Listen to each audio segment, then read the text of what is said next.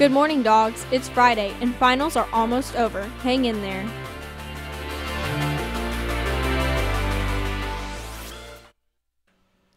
Please stand for the Pledge of Allegiance.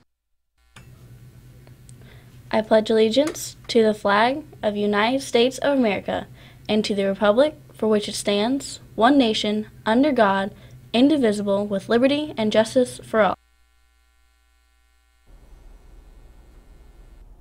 Last day of finals, everyone. For real though. For lunch today, lines 1 and 2 will have chicken snack wrap. Line 3 will have soup and salad bar featuring chili. Line 4, sausage, egg, and cheese biscuit. And line 5, 4x6 assorted pizza. Happy birthday today goes out to Dylan Laverty Zook, Jalen Moore, Alexa Ramos, Jada Redman, and Eduardo Valdez Hernandez. We are saving paper and time by utilizing our technology to access schedules. On Monday, students must report directly to their third trimester class. First period, students will need to log into PowerSchool to find their schedule for next trimester. Since students will not be receiving paper schedules for third trimester, it is really important to students to bring their ID cards or bring a previous schedule with a barcode on to all their classes on Monday and Tuesday to check out books. Good luck to band students Casey Klez, Nina Harshman, and Michelle Garza as they compete at instrumental solo and ensemble contests tomorrow at North Central High School. If you are interested in joining Fortissimo Show next year, please see Mr. Denniston for more information. Speech team has a tournament tomorrow at McCutcheon. Drew Grismer will be competing in the extemporaneous and impromptu speaking, and Thomas Coomer is competing in poetry reading and radio broadcasting. The Andy Scholarship is still available for grades 7 through 11. The deadline to sign up is March 2nd. Youthrise wants you to be aware of physical abuse.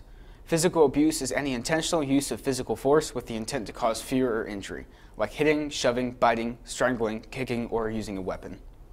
Ninth grade students will meet with Herff Jones during community on February 27th regarding class rings. Students can begin ordering class rings during lunch on March 7th. Parents can order class rings at FHS on March 7th from 2.45 to 6 p.m. Enter the main office. Now to Mo and Maddie. The boys JV and varsity basketball team will play at the Berry Bowl in Logansport tomorrow night to end their regular season. Next week, we will host the boys basketball sectional. Tickets are on sale now in the bookstore. Season tickets are $10. Single game tickets are 6 Both season tickets and single game tickets will be available at the door. Skip the line and get your tickets today. Lastly, Monday is the last chance for track. We're still looking for a couple more hardworking managers. Mo? It's currently 47. Temps will get up to 52, then drop back down to 38. Clouds will cover the sky all day. Wait a minute. Guys, I know we're recording right now, but can I get an explanation as to why I'm not outside on a day which is pretty warm for this time of year? No? Okay. Well, you'll be hearing from my lawyers. Isaac, would you mind helping me on that? I've uh, heard that you've got connections. Will do, Mo. We want to thank you all for watching the announcements this trimester. It's been a wild ride. This is your host, Isaac Hunter, and Ricardo Cortez, signing off.